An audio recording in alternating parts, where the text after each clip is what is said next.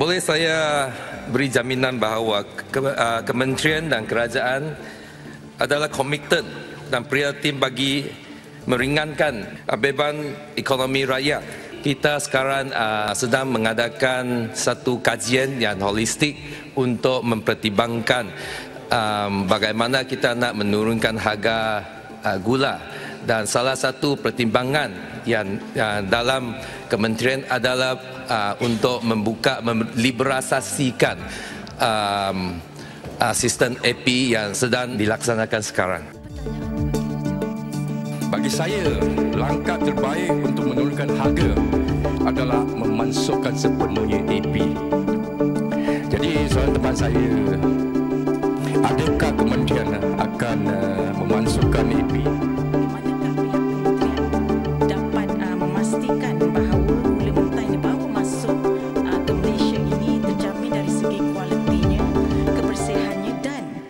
Adakah uh, pihak kementerian ada cadangan uh, untuk mewajibkan syarikat-syarikat ini mendapat uh, sijil halal di masa akan datang. Terima kasih. Um, terima kasih yang berhormat uh, dari Parit Sulong, uh, kawan baik. Um, sistem Terima uh, kasih, terima kasih tapi kena jawab juga. Ya, ya, ya. Saya akan jawab.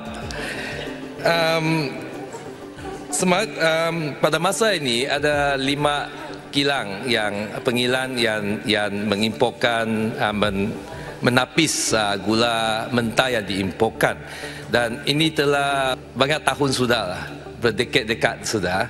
Tapi hal uh, masalah sama ada kilang ini mempunyai ha- sijil halal ini pun tak pernah ditimbulkan sebelum ini.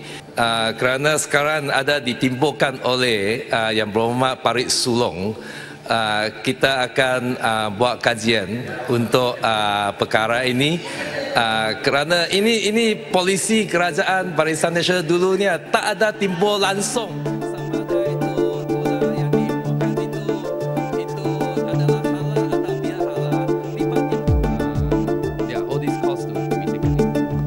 Right.